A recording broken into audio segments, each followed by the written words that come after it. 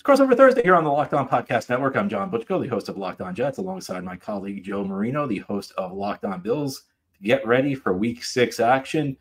Buffalo Bills visiting MetLife Stadium to take on the New York Jets Monday Night Football. Of course, these two teams played at MetLife Stadium Monday night a year ago.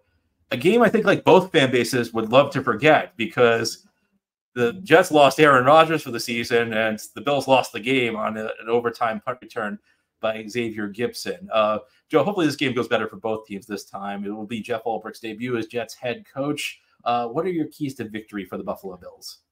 Yeah, it's uh, interesting, kind of going back to the scene of the crime, like you mentioned, for both teams. I think there's three things that are really important for the Bills on on Monday Night Football. Uh, number one is efficiency in the passing game. You know, uh, Robert Saleh has said it in the past, and I know he's not the head coach, but I think the principle remains. The Jets are a team that are willing to dare Josh Allen to be patient with the football. And boy, was he ever patient the first three weeks of the season. He's so patient. He just did all the smart, right things with the ball. It was so beautiful. And the last couple weeks, he's gotten away from that. And he hasn't thrown an interception this year, which I know is a big storyline with Josh Allen, and that's great. Um, but this wouldn't be the week to suddenly start being more risk willing uh, with the football. DJ Reed's obviously playing out of his mind this year, and Sauce Gardner's a really good corner as well. And and so I think the Bills need to be willing to revert to being efficient with the passing game, getting the backs involved, getting the tight ends involved. Uh, Khalil Shakir, if he's available to play, this isn't the week to go big play hunting and throwing the ball down the field. It's time to get back to efficiency in the passing game. So for me, that's number one. Number two is you got to play with an awareness of the game script. Um, there's some strange dynamics in this game. You have a Jets team that just fired their head coach in week five. Um, they're coming after playing in London. They chose not to have their bye week uh, this week. They were willing to play a game, and so those are weird dynamics of certainly some injuries on uh, on the Jets side of things that we need to monitor. But also, you have a Bills team that's looking to get out of a rut. They've lost two in a row, not normal for the Bills. In fact, since 2020, the Bills until last week were 14 and 4 coming after a loss. They don't typically lose two in a row. And now they're staring at a possibility of losing three in a row. And, you know, it to me, it changes the dynamics of the season for the Jets. Like we talked about in the opening segment, you know, this was probably thought of as a move to galvanize the troops here with the Jets as they are not wanting to let the season kind of get away and make the the the path difficult for them. It's it's still open, right? For whatever you want to think about it, the Bills certainly haven't played at a level that makes you say this is their division and they're going to run away with it, right? I, I, I know that the Patriots and the Dolphins don't look great, but two will come back at some point. and this Jets team obviously is trying to rally here, and so I think this is a turning point. And so you, I think you have to play with an awareness of game script. Like I mentioned, only no interceptions for Josh Allen this year, two offensive turnovers at total for the Bills.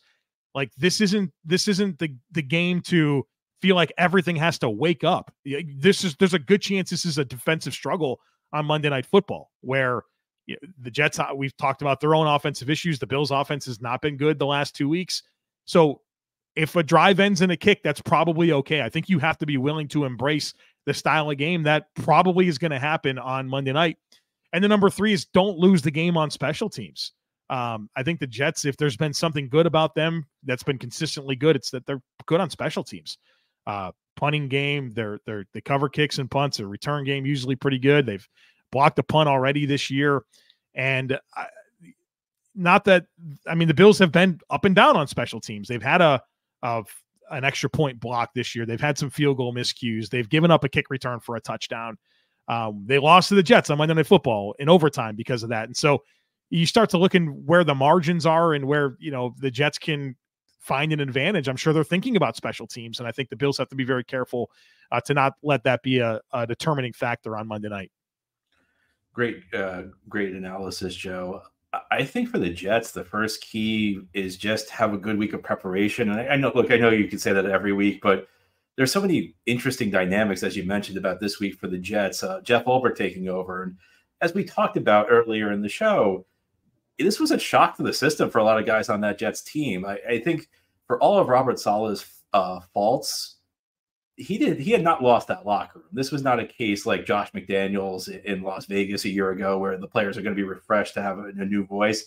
I think there was some surprise. So for Jeff Ulbrich, it's going to be uh, getting the players in the right headspace for this game. The Jets also need to figure out who's running the offense this week. Joe, I don't know who's in charge of the Jets offense because, as we talked about, uh, Saleh was about to demote Hackett, and Ulbrich said, We're going to take a look at everything. So I couldn't tell you who's going to be calling the plays for the Jets Monday night. So the, a lot of it's just going to be about just having a good week of preparation. And while, again, while that's true every week, I think with so much in transition for the Jets, that's going to have to be a big focus. Um, the second thing for the Jets is I think they need to be disciplined in their pass rush lanes. Um, there are a couple times this year where they've been hurt by quarterback scrambles, uh, especially week two against Tennessee against Will Levis. Uh, Jets almost lost that game. One of the biggest reasons was they were having trouble uh, with Levis breaking breaking plays, you know, taking the ball down the field. Josh Allen, obviously a very mobile quarterback, very adept. If you give him room to run and nobody's open, he's, he can make big plays.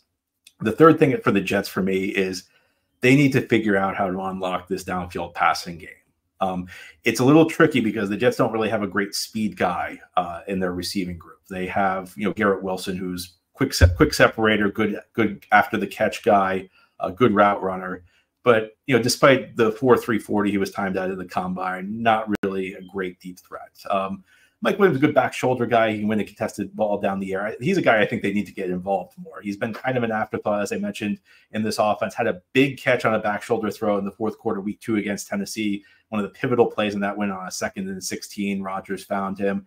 Little involved two weeks ago against Denver, but he's, he hasn't really found his role in the offense. And I think, you know, he might be a guy who can help them in that area.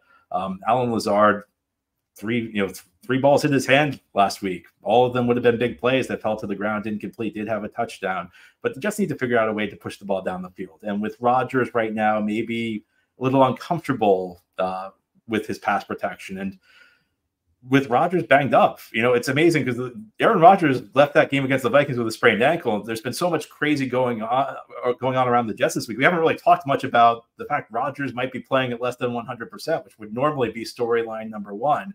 Um, he's not really that comfortable with his offensive line right now. So the Jets need to max protect, they need to leave a few guys in. They need to figure out a way to produce big plays in this passing game because they just have not been doing that yet at this point of the season.